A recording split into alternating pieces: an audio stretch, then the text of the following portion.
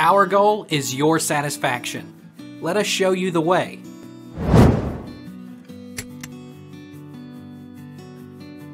How do you make a TikTok a live wallpaper with sound?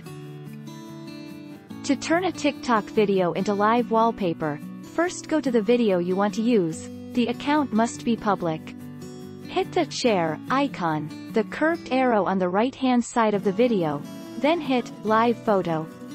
The video will be converted into a live photo, which you can then find in your photo library. How do you get a moving background? Here is how you can do that. Download the app from the App Store here. Open intoLive and load up the clip of your choice.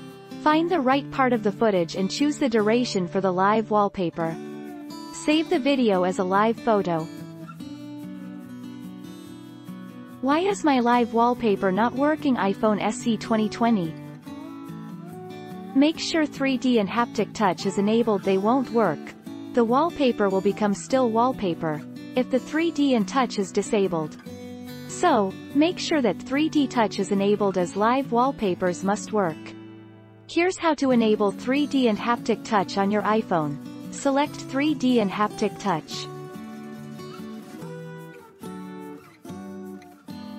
Take our lead. Let's help you make your mark.